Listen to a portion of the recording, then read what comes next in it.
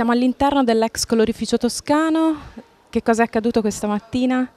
Questa mattina di sabato 20 ottobre 2012, dopo la Common Street diritti nello spazio di sabato scorso, il municipio dei beni comuni ha finalmente restituito alla città di Pisa l'ex colorificio toscano, sede di una multinazionale italo-tedesca, J-Colors, con sede nel milanese, che dopo essersi appropriata, aver rilevato il marchio dell'ex colorificio toscano in sede a Pisa fin dal 1924, ha delocalizzato la produzione industriale eh, lasciando per alcuni anni questo edificio a magazzino per poi lasciarlo nel più totale abbandono. Siamo con Stefano, ex lavoratore del colorificio ed ex delegato sindacale. Se ci puoi raccontare come si è arrivati alla chiusura del colorificio? La, chiusura del colorificio eh, da, dal 1993 dopo il fallimento con l'acquisizione prima di Rossetti, poi di Jungan, eh, lì avevamo già capito che la storia del colorificio sarebbe finita nel breve tempo. Ci siamo tante volte rimboccati le maniche, eh, rappresentanti sindacali, sindacato, comune per cercare che questo non avvenisse. Poi col tempo hanno cambiato diverse tipologie di produzione, Prima ci siamo fermati allo smalto, abbiamo eliminato gli smalti, abbiamo cominciato a fare le idropitture per tutto il gruppo, Rossetti, Jungas e Toscano.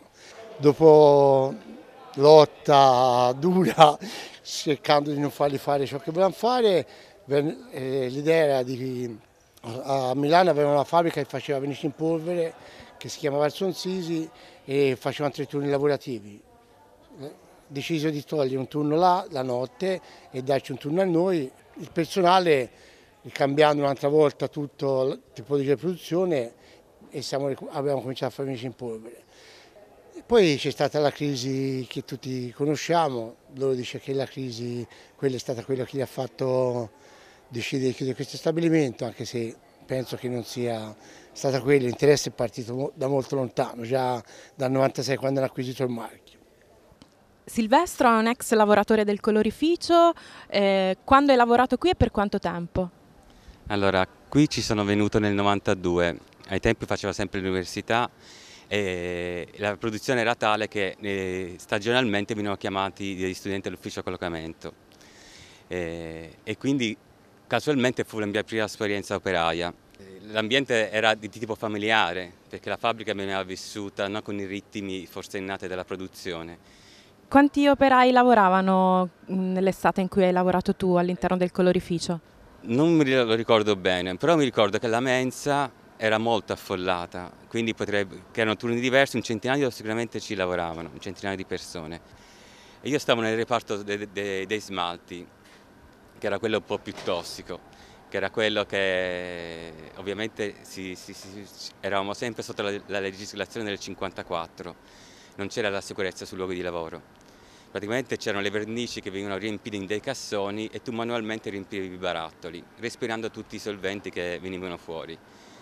Funzionava così, i solventi andavano in alto, poi c'erano dei finestroni aperti e venivano dis eh, dissolti nell'aria automaticamente. Lo stabilimento ha chiuso definitivamente dopo anni diciamo, di agonia e di lotte nel 2008 e dei lavoratori e che cosa è successo? Lavoratori, eravamo a quel punto rimasti 13 lavoratori soli, qualcuno è andato a mobilità, prima abbiamo fatto la cassa integrazione, poi abbiamo fatto la mobilità, qualcuno ha avuto fortuna e ha trovato lavoro, pochi.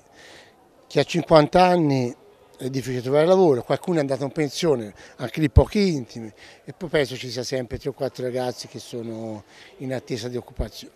Lo spazio dopo tanto tempo che è stato abbandonato viene riaperto, che cosa pensi di questa iniziativa? Io spero che sia riaperto e che nessuno imponga di uscire qui, soprattutto il comune, visto che ha preso gli impegni che qui sopra non faceva, aveva deciso di non far costruire niente. Spero che il comune mantenga le promesse fatte.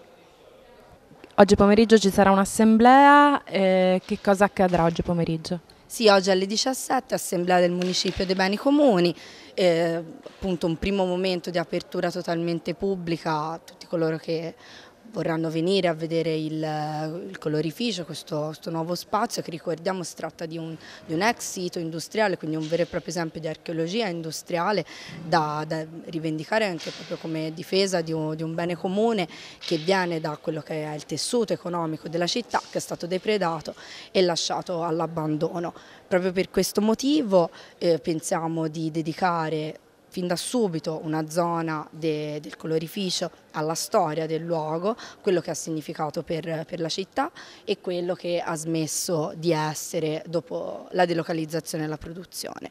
Eh, ci sono de, degli ex lavoratori del colorificio che si sono imbarcati con noi in questo percorso, che ci sostengono e che aiuteranno alla, alla scoperta di questo luogo che ricordiamo è molto grande, sono 10.000 metri quadri, dentro i quali ci sono ancora i vecchi strumenti della produzione e altri residui di stoccaggio. Infatti adesso eh, tutto si sta organizzando logisticamente per la ripulitura del posto e la riapertura al pubblico, a tutte le attività del, del progetto Rebeldia, quelle storiche e quelle che si sono aggregate lungo il percorso politico del municipio dei beni comuni e attraverso il bando Ideazione lanciato alla fine dell'estate per permettere a chiunque volesse di lanciare la sua proposta per utilizzare questo spazio bellissimo, enorme.